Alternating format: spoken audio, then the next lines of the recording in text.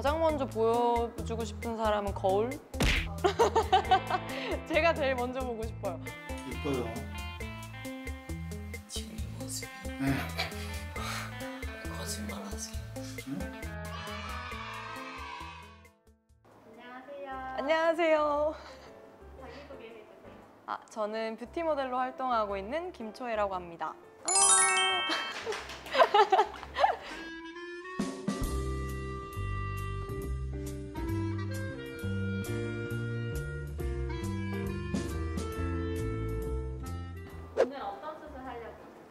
오늘 저는 헤어라인 모발 이식 하러 왔어요. 되게 예쁘신데 왜?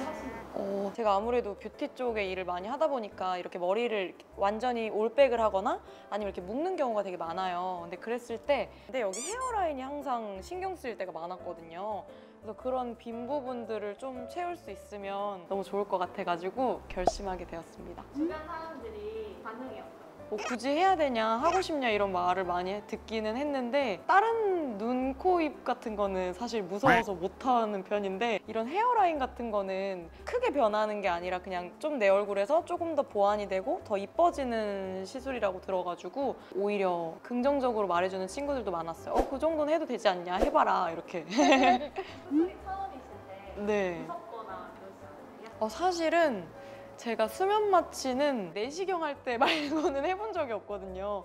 그래서 조금 무섭긴 해요. 제가 헛소리를 되게 많이 한다고 하더라고요.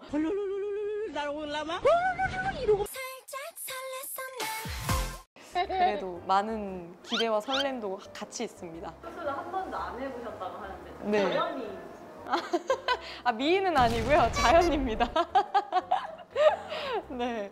진짜 막 아나운서인 줄 알았어요. 아, 그래요? 아, 좀 더 아나운서처럼 이렇게 앉아 있을 걸 그랬나? 아나운서 멘트 한 번만. 아, 그리고 안녕하십니까?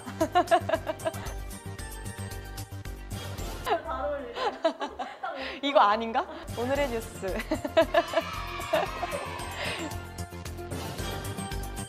구독과 좋아요 눌러주세요. 모바일식 하면 가장 먼저 보여주고 싶은 사람 가장 먼저 보여주고 싶은 사람은 거울?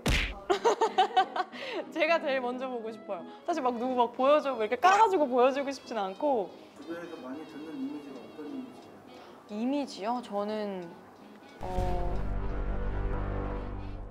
개상 강아지상 아,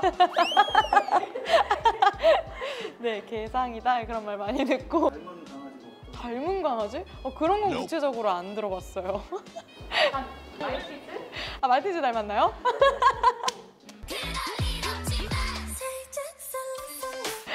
진짜 웃는 모습 너무 예쁘세요. 아 감사합니다. 이제 헤어라인만 하면 되겠네요.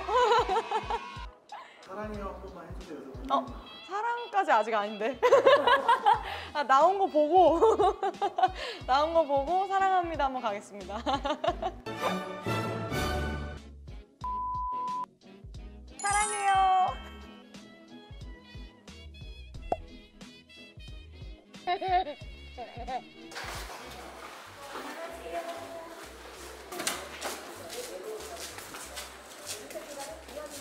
어, 배고파요. 맛있는 거 먹기 얘기해요, 네?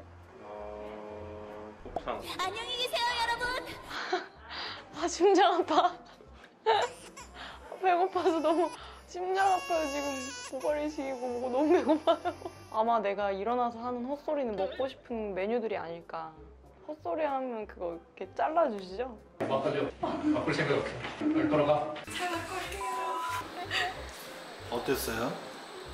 지금 1차 끝났는데 음.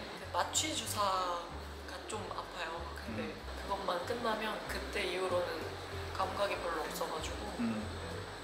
계속 누워 있어야 되는 거 빼고는 힘든 거 없었어요. 부었죠, 엎드려 있어서? 네, 이렇게 부어 있어가지고 지금 엄청 띵띵 부은 느낌이 나는데. Three hours later. 수술 잘 됐대요. 배고파요? 수술 끝나면 배고픈 생각 없어지신다고 했잖아요. 그러네. 수술할 때뭐 마시는 맛이 나. 아마 내가 일어나서 하는 헛소리는 먹고 싶은 메뉴들이 아닐까. 일어나야 퇴근하시는 거예요? 그렇죠. 그럼 오늘 퇴근 못 하시겠네요. 무슨 생각하세요? 앉아서? 네. 졸려요. 살려주세요. 어머. 이래서 모자를 갖고 오라고 했구나. 이뻐요. 지금 이 모습이. 네. 거짓말하지.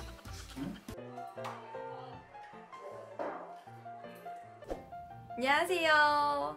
저는 지금 모발 이식을 마친 지 한 한 달하고 2주 조금 안 되었어요. 근데 사실 이렇게 다니면 내가 직접 했다 이렇게 말하지 않는 한 사람들이 잘 모르는 것 같고 물론 이렇게 가까이서 보면 살짝살짝 티가 나요.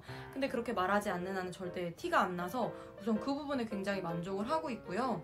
또 한 가지는 병원을 다니면서 선생님이나 간호사 선생님들이 되게 사후 관리를 잘 해주셨어요. 전화도 잘 해주시고 수술 이후에도 되게 많이 챙겨주셔가지고 그런 부분에 되게 만족을 했던 것 같습니다. 물론 지금은 한 달밖에 안 지났기 때문에 가까이서 한번 보여드리면 이렇게 좀 붉게 올라와요. 근데 다른 분들도 다 한 달 정도엔 이렇게 된다고 하더라고요. 그리고 지금은 제 머리가 여기 심은 머리들이 탈락되고 있는 상태이고요. 이게 탈락되고 나서 새로운 머리들이 계속 자란대요. 이거보다 훨씬 풍성하게 자란다고 하는데 그래서 한 6개월에서 1년 정도 봐야 한다고 하시더라고요. 그래서 그 기간을 기다리고 있는 중이고 저처럼 이렇게 잘 가리고 다니면 어, 일상생활에는 전혀 지장이 없으실 것 같아요. 물론 이렇게 붉게 나는 게 좀 예민한 분들도 있을 것 같은데 저 같은 경우에는 사실 그런 거에 큰 신경을 쓰지 않기 때문에 우선은 만족하고 있는 상태입니다. 그리고 6개월 이후에 이 부분들이 다 차오르는 거잖아요. 그러면 이 헤어라인도 훨씬 더 예뻐질 것 같고 얼굴도 훨씬 작아 보일 것 같아서 기대가 많이 많이 됩니다. 그래서 우선 1탄에서는 이렇게 간단히 한 달 이후에 어떻게 변했는지 보여드렸지만 제가 2탄에서는 풍성하게 자란 모습을 한번 보여드리도록 할게요. 어떻게 변했는지 저도 사실 너무너무 궁금해요. 그러면 2탄에서 만나요. 안녕!